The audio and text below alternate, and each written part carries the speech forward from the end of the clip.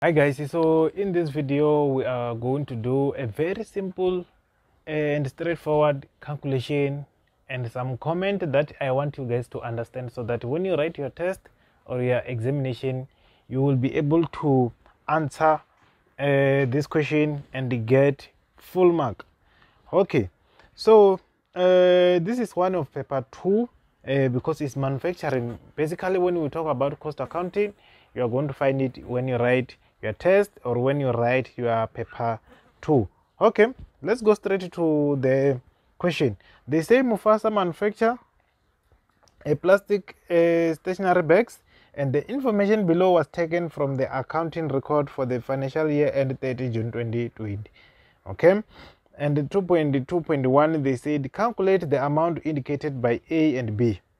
Okay let's write 2.2.1 a and B.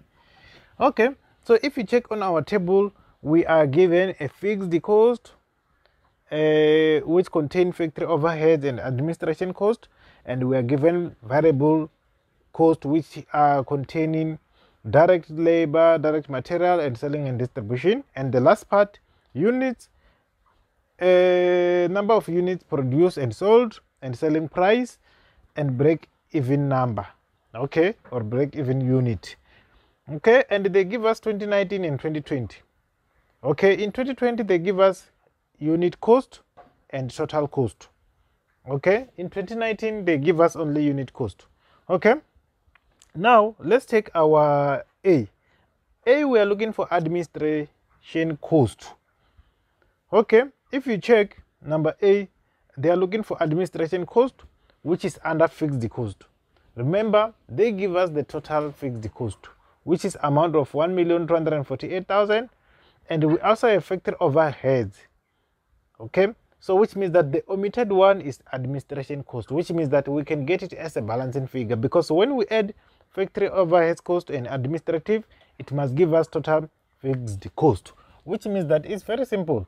We're just going to take 1,248,000 minus 898 560 then it will give us amount of 349 440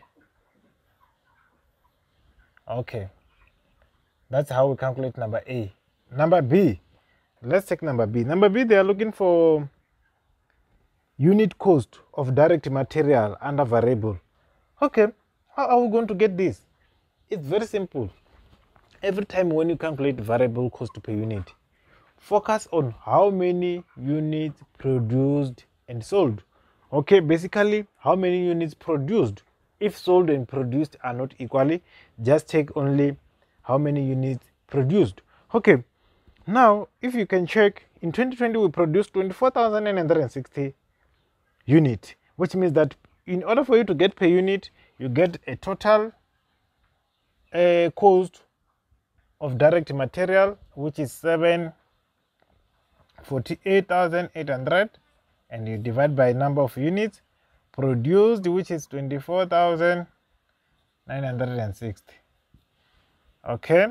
And this will give you 30 rand. 30 rand. If you don't get this correct the next question is going to give you a serious problem. 2.2.2 2.2.2.2 we have to calculate a break even point. Okay? So it's seven marks to calculate break even point but you must know formula first. Formula said a total fixed cost divided by selling price per unit minus variable cost per unit Okay, let's check. Our total fixed cost, we have it.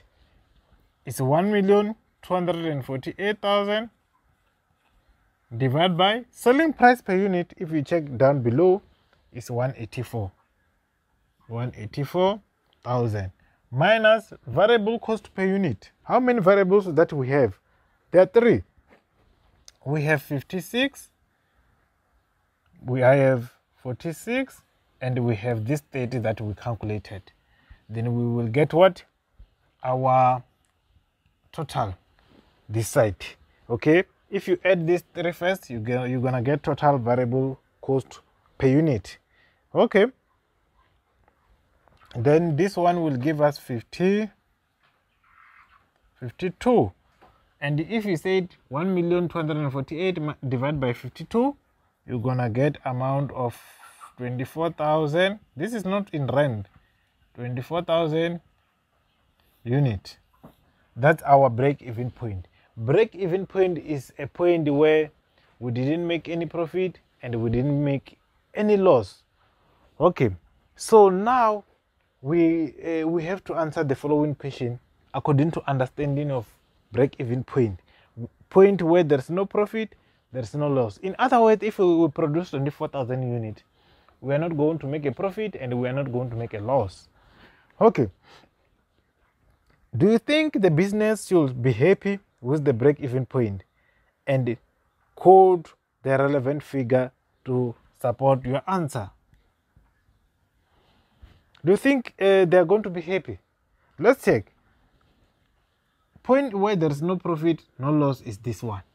And how many units did we actually produce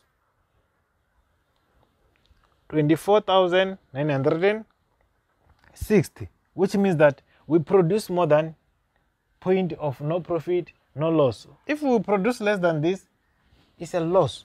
If we produce more than this it's a profit. If we produce this no profit no loss which means that the business yes the business is going to be happy because business produce more than what? More than break even point. You have to quote remember they said you have to quote they produce 24,960 and BEP is 24,000 that's what they mean when they said quote is to quote okay. So i hope you learned something. Please make sure that you join our extra class guys so that you can learn something. And also don't forget to purchase a study guide if you are looking for question paper like this so that you can practice uh, more and more. We have a study guide for grade 11 and grade 12 and grade 10 so if you are looking for study guide make sure that you text us so that you can study as early as possible and the class guys the class are available uh, now it's only 100 rand per month and you're going to attend twice every week. So please make sure that you join as early as possible. Don't wait for examination to come so that uh, because guys if you wait for examination you are going to suffer because you will find that we almost covered a lot of things and we are just doing a revision. Do yourself a favor join in time communicate with your parents so that they can help you to play the tutorials and learn with other students online. See you on the next one.